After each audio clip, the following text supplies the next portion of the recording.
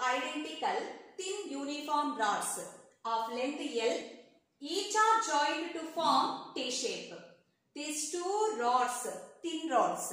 At the same time, length of these two rods same.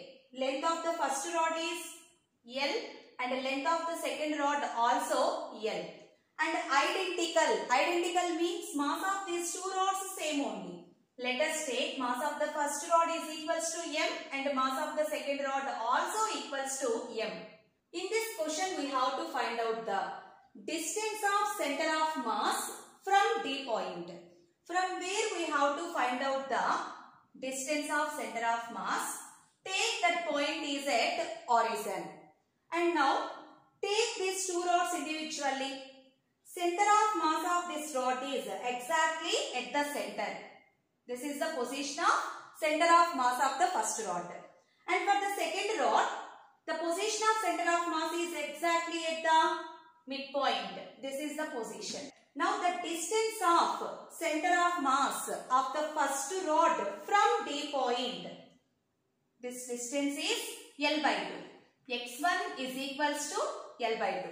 The distance of center of mass of the second rod from D point is L. x2 is equals to L. And the main thing here, we are not consider the thickness. Maybe when we consider the thickness, this length changes.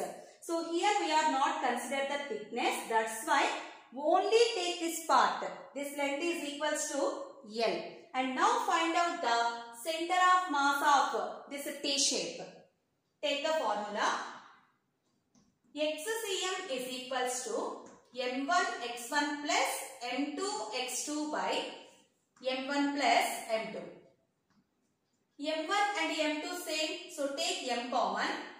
X1 is equals to L by 2 plus X2 is equals to L by 2M.